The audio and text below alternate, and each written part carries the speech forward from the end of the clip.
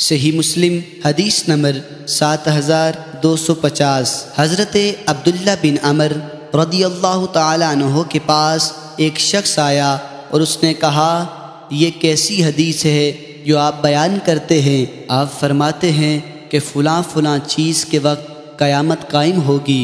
उन्होंने कहा सुबहान अल्लाह या ला इलाहा इल्लल्लाह, या कोई और कलमा इसकी मिसल कहा। और फरमाया मैंने इरादा कर लिया है कि अब किसी से कोई हदीस बयान नहीं करूँगा। मैंने तो सिर्फ़ ये कहा था कि कुछ दिनों के बाद तुम बहुत बड़ा हादसा देखोगे। जो घर को जला देगा, वो होगा और वो होगा।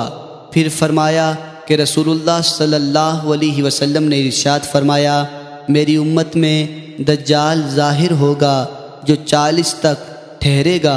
मुझे मालूम नहीं, चालीस दिन फरमाया या चालीस रातें, बस अल्लाह ताला हज़रत ईसा इबन मरियम सलाम को भेजेगा, जो हज़रत उर्वा बिन मसूद रती अल्लाह तहों के मुशाबे होंगे। आप उसको तलाश करके हलाक करेंगे। फिर लोग सात साल उस तरह ठहरेंगे कि दो आदमियों के दरमियान भी दुश्मनी ना होगी। फिर अल्लाह ताला शाम की तरफ़ ठंडी हवा भेजेगा तो ज़मीन पर मौजूद उस शख्स की रूह कब्ज़ कर लेगा, जिसके दिल में एक ज़र्रा के बराबर भी भलाई या ईमान होगा। हती कि अगर तुम में से कोई एक पहाड़ के अंदर भी चला जाएगा तो वो उस पर वहाँ दाखिल होकर उसकी रूह कब्ज़ कर लेगी।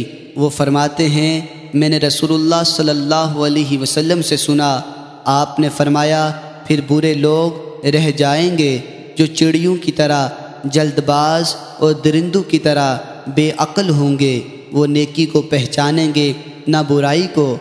उनके पास शैतान किसी बेस में आएगा और कहेगा, तुम मेरी बात नहीं मानते। वो पूछेंगे, तू क्या कहता है? बस वो उनको बुतों की पूजा का हुक्म देगा। वो इसी बुत परस्ती में मसरूफ़ हूँ, उनके पास रिस्क आएगा और उनकी ज़िंदगी अच्छी गुजरेगी। फिर सूर फूंका जाएगा तो उसको जो भी सुनेगा, वो एक तरफ़ गर्दन झुका देगा और दूसरी तरफ़ से उठा देगा। आपने फरमाया, सबसे पहले जो शख्स इसको सुनेगा, वो अपने ऊँटों का होश दुरुस्त कर रहा होगा। वो बेहोश हो जाएगा और लोग भी बेहोश हो जाएँगे। फिर अल्लाह ताला बारिश नाजिल फरमाएगा, गोया वो शबनम है या साया, नुमान रावी को शक है। इससे लोगों के जिसम उगने लगेंगे, फिर उनमें दोबारा रूह फूंकी जाएगी तो वो खड़े इंतज़ार करेंगे। फिर कहा जाएगा, ए लोगो, अब रब की तरफ़ आओ, उनको खड़ा करो, उनसे सवाल होगा।